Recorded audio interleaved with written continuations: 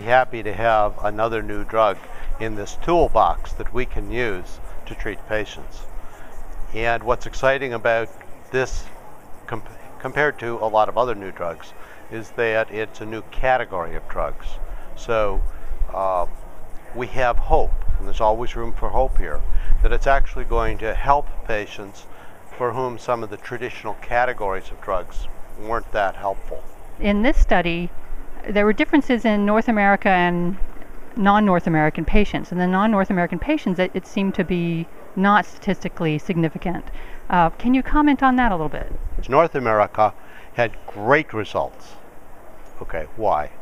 Well, uh, the thought that came to my mind was about the diagnosis of epilepsy that we had in our country, U.S., prior to about 30 years ago. Uh, at that time, we had less clinical tools to evaluate who really had epilepsy and who had other kinds of medical problems or psychological problems that were being misdiagnosed as epilepsy.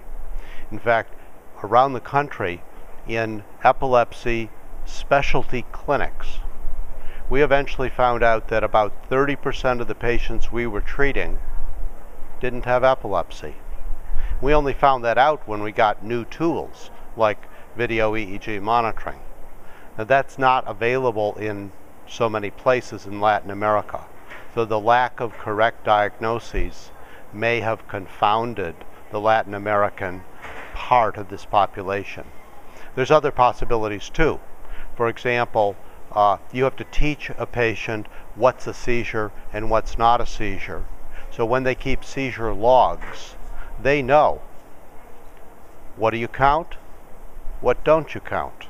And it may be that the teaching of people in the Latin American group was not as effective, and they may have counted events that were not really seizures in their baseline of seizure control. So last question, if this drug is approved relatively soon, will you start using it in your practice? Yeah, I'll be using it the next day. Uh, this would be, it, it, until we have enough people out there using it and we collect phase three data to really see what it does in a large number of patients, we're going to be somewhat uncertain of whom to use it in.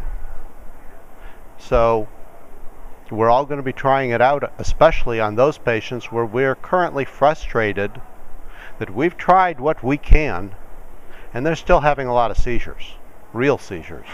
So this is the next drug on the list.